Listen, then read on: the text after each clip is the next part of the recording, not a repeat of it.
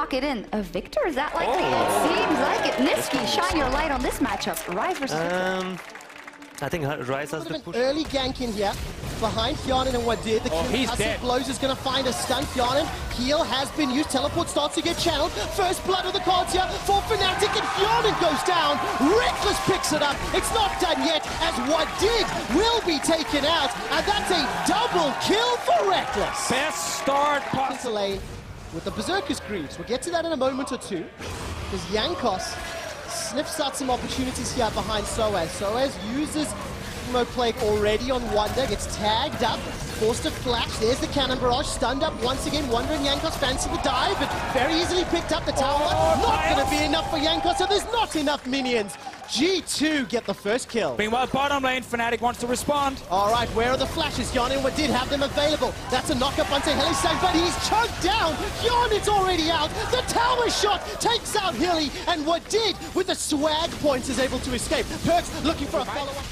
See this again, where they keep cross-mapping each other. Fnatic controls bottom side and G2 controls top. Because if G2 can go first with their... Uh, Perkz is shoving him in. Rox is now once again fancying an opportunity. I'm looking for the Impale. We'll have to catch them back later.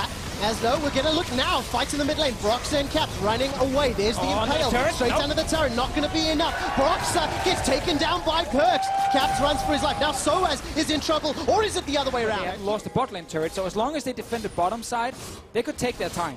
Got it. Well, they've done exactly that, Deficio. Tower first blood picked up. And it's Wunder that goes on the tower, and Broxah does pick up that mountain. Wunder's ult and TP is ready in case something happens bottom. Because Fnatic spent a lot of time killing Drake now, while G2 already got top and tower. We gotta fight. Chain of corruption starting to spread. Hylissang forced to run for his life. Vladimir to Vinci take over. All right, where is Shelly? She's going to charge up, get a good bonk on the tower, and takes it out. So tower two falls just before 20 minutes.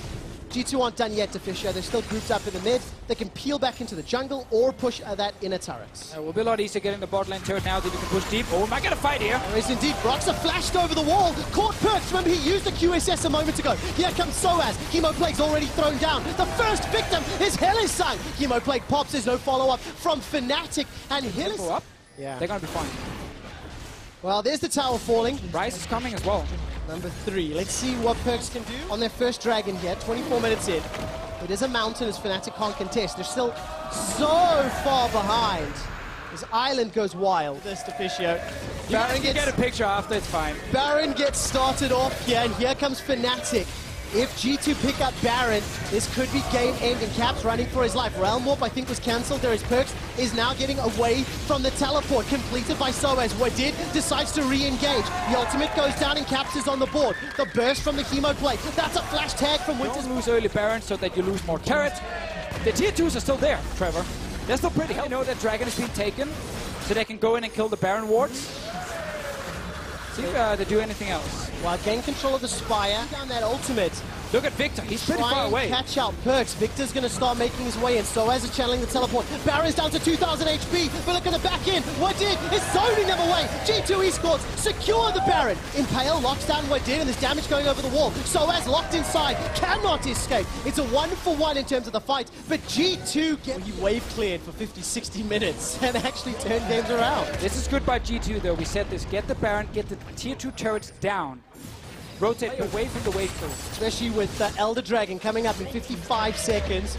G2 unlock the tower. They've got great vision set up deep inside Fnatic's territory in the eastern quadrant. And now G2 peel back mid, look to take out this tower. Spell Shield on the Chain of Corruption. Insta claims away from the QSS for Rekkles, but it doesn't defend the tower. And down by Rekkles, but what's the decision making here? Realm Warp not going to get taken. In fact, there's the Impale onto Jankos. He's forced to run away. The Flash was used early on. Perk's still behind them. Looking for the flank. Do Fnatic realize that there's no Impale or Flash on Broxah? Perkz has Flash available. That's it used. Hilly through his down. Caps flashes over the wall. The target is Perkz. The target is the King of Europe, and he's down. Caps takes him out. He's on a Random on the wrong side. Let's see if Jankos can steal this one. Smite is available, 3,000 hit points. Fnatic, they pull the Elder Dragon out of the pit. Steal attempt is on. Jankos is in the pit, but it is simply too late. Arctic Assault out to escape, and Wunder goes down. Fnatic, get- it is indeed. Caps is earning that ticket to Valhalla. 4 and 0. Currently at 48 kills on the split. Jankos now trying to help defend with the rest of G2 Wunder. 25 seconds before he's up. Soaz goes all the way forward. That's the flash Hemo Blade. Zoning away G2. The inhibitors the focus. And Fnatic will take it down. Let's see the escape though. As Soaz is forced to use that Sanguine Pool. He's escaped with his life. That cost him then the inhib turret.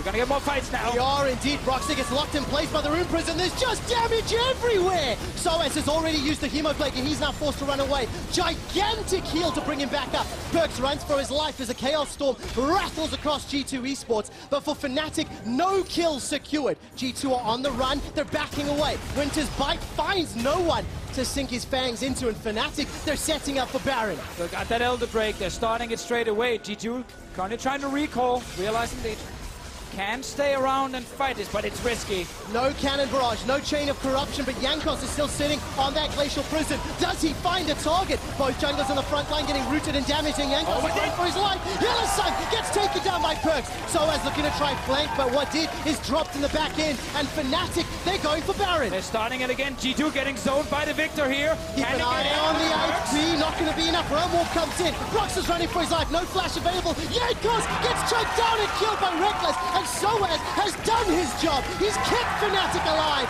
They're not done yet. Rekkles, Oh, the first in the player to 50 kills, and Soaz is going for the win. He's got a few minions with him. They're stopping the recall from Perkz.